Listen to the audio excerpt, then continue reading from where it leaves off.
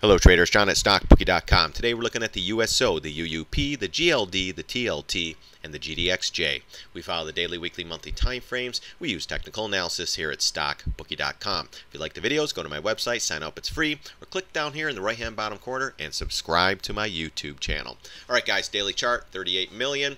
2.81% down or 27 cents red. We talked about this uh, chopping around, slightly bullish pattern. We're still on these uh, overall bearish, slightly small term bullish pattern. We popped up, wanted to see follow through. We actually got it. Then a complete reversal, almost engulfed this whole thing. Then today a nice little gap down and a nice follow through day to the downside. We have a gap fill. Eh, I'd have to do the math. No, that might not is. But this one here, definitely a gap fill. Got the lower pivot with the window. So if we continue down on Monday, Tuesday, going into Wednesday's news, um, let's see what this thing holds. As long as we hold this trend line, it should do okay and possibly higher. Again, we are waiting for this area right in here. If it, it's there, great. If it doesn't, it's going to go down without us. Again, Yellen doesn't need higher oil prices in her little experiment bottom line. So let's see what it gives us. Do we go sideways? Do we come right back up? Or do we gap low and keep going, guys? So this was a great uh, little slack in here, 2.81%. Uh, let's see if we continue lower in uh, next week's uh, action. Let's go to the weekly chart since it's a weekly close, guys. Weekly still doing okay. Um, if you're short, still below all these trend lines or still below all the uh, moving averages. We're still, see how it came into the 5 retrace and look, down sideways. This is still slightly bearish below the MAs in a weak stance. They held this uh, down sloping trend line here, right? This was like, they say, they got to save it right here. It's going to start going down. If it does start to slide or continue chopping around another week or two, this will be setting up for lower prices, period. 866 double bottom, then you're looking at 850, 825, 8 bucks, and then eventually the 772 area.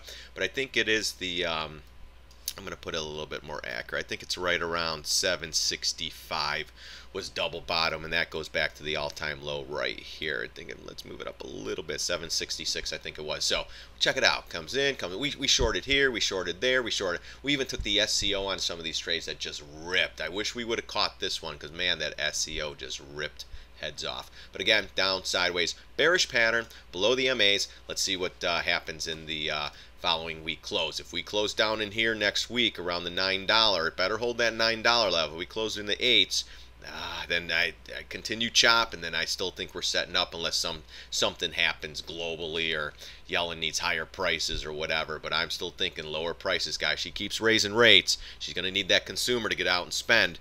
Oil prices will be going lower at the pump. All right, let's go to the UUP. UUP, that's the other one, guys. We've been calling this one pretty good. Been waiting, waiting real patiently to go long in the dollar, guys. Not yet, though. So we come in, retrace, come in, barely a retrace to this uh, trend line comes in tries it again another weak retrace comes in tries it again another one and boom right to the first level that we've had in there for a while which is gap fill pivot low 24.32 I still think we're getting the 24 bucks and this point guys. We might even go lower. I, am gonna have to really look at this thing try to find some new levels here. Great pivot here at 23.97 other one is 24.13. If those don't hold, 24 is coming into play. Then the next level's down here. I might get interested on 24. I want to see this thing just fall right into it and then get an I mean, this thing's starting to get oversold a little bit and then we'll get the bounce. So if you are short, tighten that stop. You're starting to hit some big support levels down in here. You hit 24, you better be mostly out of your position. Maybe a quarter. If it continues lower, ride that quarter position, maybe to 23 50 then 23 bucks. There's some areas down there, but right now still early to tell. We are below the MAs, weak stance, starting to fall. Let's see where we go from here. Let's go to the weekly chart. Weekly chart, and this is why I like 24, guys. 24.18 is the uh, 200 MA and then the $24. If this area breaks, this is great support, but remember, it's the weekly chart. It could overshoot and come down into this area. I love this pivot here. 23.28 and I also like this one here at 23 bucks. So and if it really starts to go guys here's your next area gap fills. I mean this area is at 22.44 so maybe here for a short-term bounce. Maybe a call position just a short one get a two or three day bounce and get the hell out. But right now guys below the MAs still above the 200 but if this one cracks and goes we're going downtown on a dollar. And I guarantee you remember dollar down oil up oil's going to be following this thing down to the basement. Again, Yellen and her experiment. Just think about that. All right, let's get into the uh, GLD. GLD, guys, this is another one we talk. If you watch my videos, you know what I'm saying. Talk about resist. You don't want to deal with resistance, trendline resistance. Gap it up. What they what they do here? Gap it up. Then they held it. They don't want to deal with the 50 MA and then the 750 resistance. Gap it up. and they did it again twice. So we took a short-term trade down here. Unfortunately, we covered uh, we covered at 118. So we took or we sold. I'm so used to shorting. So we sold. It was a two dollar gain. I'll take it. But we're still in half of our swing trade. When it was coming down, I was like, you know what? I'm gonna go in a little bit on a on a GLD trade for a short term, try to get a couple bucks, and boom, we did. Gosh, one more day, I would have got another buck. But you know what? Two dollars. I'm getting killed on a couple of other uh, short term trades. So at this point, I got to take the money and run. And uh, see you next time, basically. But this is exactly what we're looking for, guys. We're back above the MAs, strong stance. If you're in this gold position with me, you know, from the 110.50, 110.60 area, um, God bless you. Let's hold on. I think we could get right back up here. Still think we could shoot up into the 130 area, 131, which is double top. We'll show you on the weekly weekly chart too, guys. And we talked about this, so everyone was kind of ah, look at that, we closed above, unbelievable. I, I didn't look at this one yet, so we filled the gap and got above. This is exactly what we're looking for. It doesn't mean it won't click over and go all the way back down, but as a bull, you know, you get this great move up. Everyone joins the party here. You know, so, oh my God, then CNBC starts talking about gold. Holy cow. Comes right back in, goes right back up. CNBC starts talking about it again. Everyone loads the house. They shook everybody out here. Now remember, on the daily chart, when this thing went down right here, we're like, oh my gosh, all right, it broke the trend line. That was a huge one. It was like, ah, but we held this area here, the 5-0 and this trend line, and it never really got under. And then when we started popping a little bit, it was like, all right, but the bottom line, we said, hey, we're going to follow the weekly close and the weekly confirmation. Never confirmed we were talking all right the weekly comes through and breaks through this level we got it we got it our short-term trade's done long term i'll still hold on but if it continues lower my long-term trade we covered we took off half here i will buy more down in here and try to ride this thing up guess what we got guys complete reversal so all the week uh, Week longs just stopped out here. Oh my gosh, it's going lower. Us, no way. Reversal, engulfed. We said, Huts, hold on. Let's see next week if we can get above these MAs. Look what it did, guys. Perfect. Doesn't mean we're out of the woods yet. Now we're waiting for pattern or waiting for more follow through. Guys, if you're long gold, hold on tight. This thing can start ripping heads off. So we're going into big earnings next week too. If they're bad, this thing's going to fly, guys. So hold on. But if it comes back and reverses and starts heading down, we might have to get out of the uh, swing trade. Like I said, we took a short-term trade. We're already out for two bucks and some change right around that area. Great close for the Bulls here, above the MAs. Now we just got to see some follow through with a close. I would love to see a close around 120 and above, and that would possibly solidify uh, a next move up on this one to the height here. If we get above the 123.29, then we're taking off to the 130 one actually we'll go to 125 first i'm not gonna well actually right here yeah that's 125.53 and then we'll take it from there but way to go guys if you held on with me got to see more than one just one week down. I want to see follow through or a big reversal like we did and that was beautiful. You couldn't ask for anything else. The tlt guys let's see what this one did today. And then keep an eye on this one again look at that.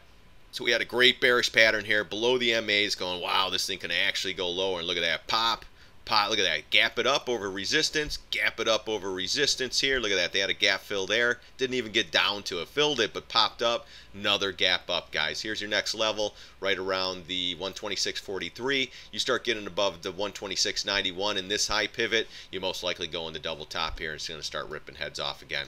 You know, this looked a little bit weak to me. We did get below the trend line. I was like, all right, let's see what this bearish pattern plays out. And once we started moving up, let's see what happens. Doesn't mean we go sideways and right back down. Right now, we're waiting for pattern. We did uh, did we close above that top? No. It would have been nice to get above that and close up into this area and even get above this little candle here. Almost did, but big resistance at the window here. Just touched it and right back down. So if you're long the TLT, hold on tight and uh, tighten that stop. If you're short from this pattern here, you know, we talked about this thing getting back above the MAs. Now it's in a strong bullish pattern, but still down and sideways, slightly weak. But if it starts moving up past this uh, 750 retrace filling gaps, if you are short this one, just just tighten it and possibly, you know, I, I wouldn't say stop out yet. Let's see what what kind of pattern develops here. So just hold tight. You are still slightly bullish above the MAs here, but uh, let's see what we're doing on the weekly. Weekly chart you know, this is going to tell us more, guys. So on the weekly, we can yeah, see we gosh, we, we reversed there. We got above the MAs. Wow. yeah, if you're short, uh, hold tight. If you start moving up higher, you might have to just get the hell out of this thing. If you break this top here at 128, you're going to 130, 132. Then this level in here somewhere, 133, and ultimately, gosh, you, you could 143. I mean, one step at a time here, guys. Let's take a bigger fib from the low to the high. I just want to see what resistance is coming up on here as well. 618 is going to be a big area. 136. Um, I don't know. That's okay. That's the bigger one there. So you have the 382. You're above the 250. Yeah, it's not bad. The one thing I'm looking at though, we recaptured the 50 MA and the 20 MA, which held, got back above the trend line the Bulls might be in charge, guys, on the TLT. So watch for this one. Um, coming off a pivot low, nice little reverse, engulf this, and fill the gap, and closed above. That's bullish, but now we got to wait for pattern or follow through. If we follow through and close somewhere up in here, we're most likely going to hit double top, maybe pattern, and then start flying. We still still in this channel, lower end, getting away from it. Be careful with this one. Again, don't load the house. No more than 10% of your total portfolio. If you have 100 grand, no more than 10 grand. Keep it small, guys. Winner after winner after winner. If you have two losers, no big deal. Rack up five winners. Two losers, no big deal. Rack up seven winners. All the same trades, all the same uh, size positions. Some smaller, some bigger, but keep them under 10. And then, you know, just keep keep doing it. Keep trading, guys. I always tell, I always preach that. Just keep trading. GDXJ. Haven't looked at this one yet today. I want to see. Gold was up pretty good. Yeah, it barely. Man, just not moving.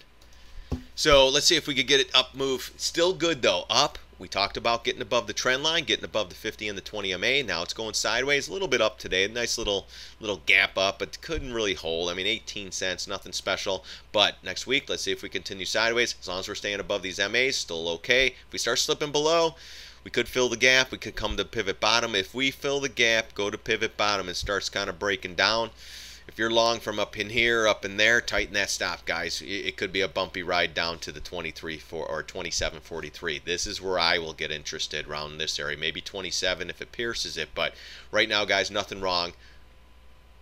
Bullish, slightly above the 50 and the 20 MA, still below the 200. You get above this 200, above this trend line, it starts going you better step aside on this one. So, you know, but you have still big areas of resistance here, resistance here where it started breaking down, and uh, you have the Fibonacci's as well coming into play 382, 618, and then the 750. So one day at a time, guys. We got four or five days sideways. Let's see what it brings into, I would say, well, Janet Yellen speaking next week too. So into Wednesday, these can go up and down. Who knows? You know, she can make the dollar go down, dollar go up, oil go down, oil go up, gold go flying. So beware of that. I believe the FOMC meeting's next uh, Wednesday. So keep an eye on that as well.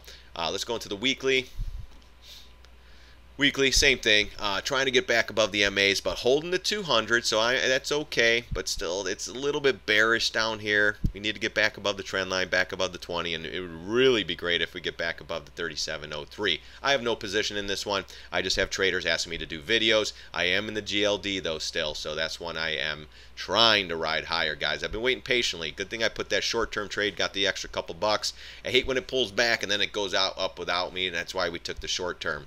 But on this one, guys, I'm waiting for a little bit lower prices. If we get down there, if it doesn't, it's going to go up without me. Then we'll look for areas to short this thing. 43 up in here, 48 if it got there. Possibly here. We'll see how the markets are running, but uh, that's a little good, a good area at 36, 37 bucks. So if this thing starts to go, tighten the stop. If it gets above there, that's where you want to stop out. If it gets above, then you put it to here, you know, the pivots, and just keep trailing it up. All right, guys. I really appreciate you coming, stopping by, checking my videos out. It's awesome. And uh, hopefully you have a great weekend. God bless. See you on the charts.